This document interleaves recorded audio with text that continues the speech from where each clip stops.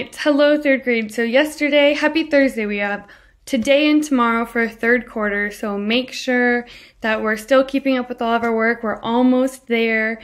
So, yesterday we went over and reviewed the 50 states, and today we're just going to be going over it again, and our only homework is going to be identifying the 50 states. So, let's look at our 50 states. So, they're all right here.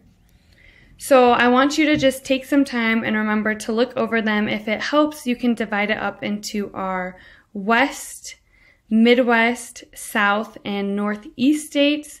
However, helps you study the best.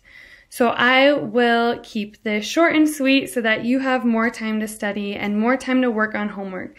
So the homework today is going to be a little longer because we're not just dealing with one part of the United States we're going over all 50 states. So make sure to take time. And if you get frustrated, just take a break because it will be a little longer than normal.